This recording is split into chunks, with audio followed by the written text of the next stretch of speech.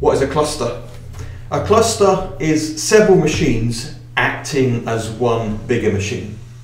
So just by means of an example, let's say that you had some app in your business and that was delivering a critical service to your customers. You could have one piece of hardware underneath this app, but what you could do with a cluster is you can say, actually, I'm going to create a machine that's actually made up of three machines. I'm going to cluster them so they act as one machine um, delivering this service to your customers.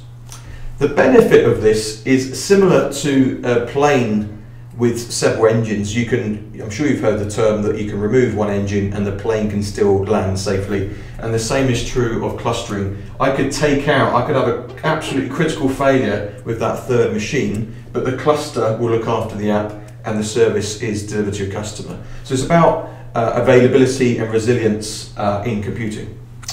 Now, why do we need to know about these three devices in the cluster from an asset management point of view? Because if you're doing a sweep of your network, if you're doing inventory and discovery and discovering what's on your network, if you're not familiar that you're using clusters, these might just appear as three machines with databases and applications on it, which would be radically different for how a cluster is might be priced. So you just need to be aware of uh, nodes, as they're called, within a cluster.